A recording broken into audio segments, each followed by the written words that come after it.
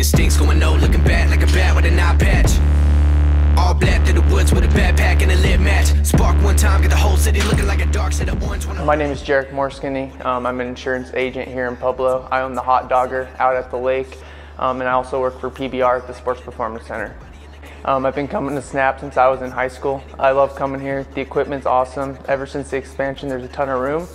Um, the employees are awesome. It just feels like a family here. It's important for me to stay in shape, uh, you know, just for a healthy lifestyle. Yeah, honestly, it just it feels good for like your brain. You know, it, it's a release from you know reality and come here for an hour, forget about everything, and still help improve uh, you know a healthy lifestyle.